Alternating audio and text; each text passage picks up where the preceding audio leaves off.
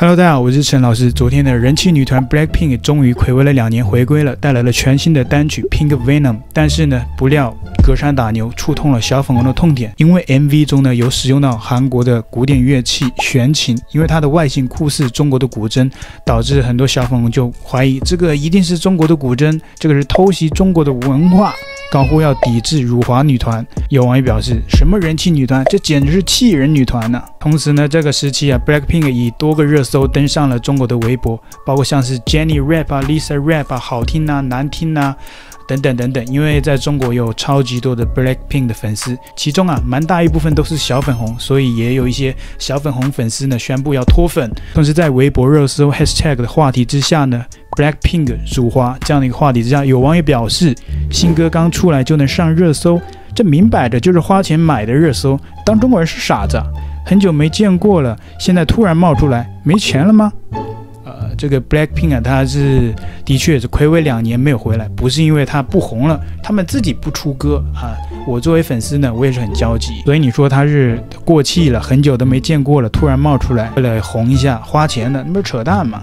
开头就辱华了 Rosie 那个墨水很明显就是抄袭中国风，我看了还以为是华语歌手。墨水啊，他的确是中国的，但是你说他抄袭，这我这个觉得真的讲不过去了。人家也没说这个墨水是韩国发明的，对不对？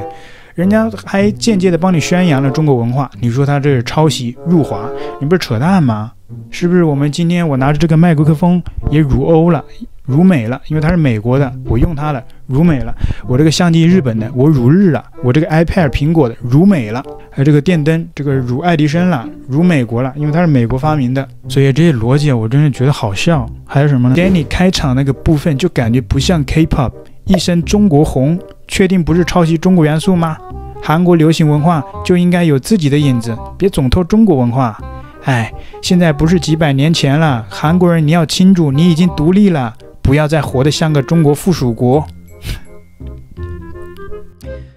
基础那个很明显就是汉服装扮，不是韩国古人的样子。注意看他的发饰，不是韩国发型。经常看韩剧的我，我就有发言权。古装韩剧根本就不是这个打扮，哇！现在你今天只要那个发型有点中国风，你就觉得它是抄袭，这个入华了。我觉得中国很多东西都是入韩了，因为中国很多都是韩版啊。你去买衣服啊，很多店长都会跟你，哎，我们店是最新的韩版啊。你是不是今天也搞个韩国的发型造型？你就是辱韩了呢？抄袭韩国文化的，那扯淡嘛！开头的音乐。好熟悉，这不就是中国风吗？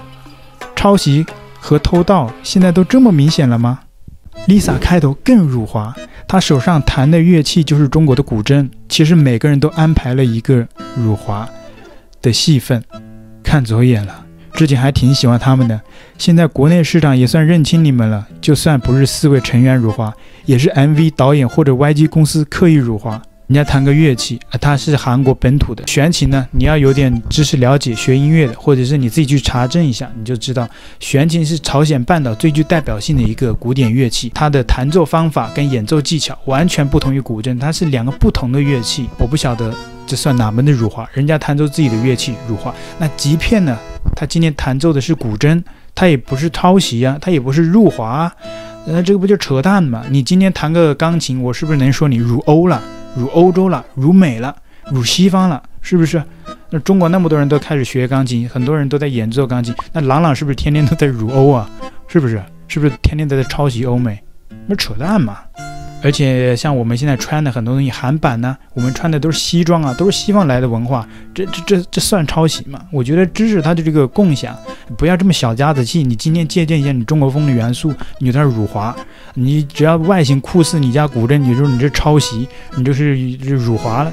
你不扯淡吗？那我可以这么说吗？周杰伦上个月就辱欧了，他为什么辱了欧洲呢？因为他上个月的作品最伟大的作品 MV 中呢，开场就是弹钢琴，那这不就是辱欧了吗？按照你们的逻辑，入华团世界巡演无缘中国，损失惨重，人民币还是香啊，可惜无法入境中国。Nice，我们禁韩令真的做对了，你这个里面你就间接辱华了，因为你要自己注意一下。现在是个大辱华时代，你不辱华，人不辱华，华自辱，而且你这个用词不当，你就有可能涉嫌辱华。为什么说这个网友他涉嫌辱华呢？因为这个 Blackpink 全球巡演，我去看了一下，里面有香港，有台湾。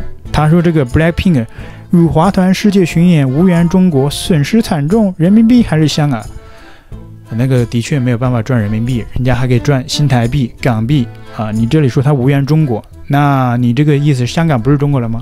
中国香港都直接从中国排除出去了，你这个不是算辱华吗？你不让别人辱华，你自己倒是辱个痛快啊！你这个真的太暖心了。抄袭的话，我觉得真的有诶。有人说中国风，我倒不认为，但是确实有新疆风，前奏旋律太像新疆的民族音乐了。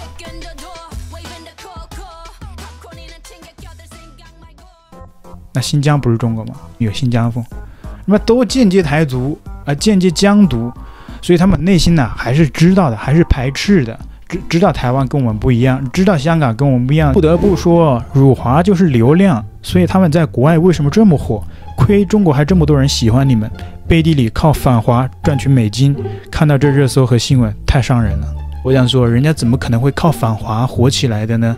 而且人家怎么可能靠反华赚取美金呢？你不是说人民币最香吗？你看现在自己都打自己的脸。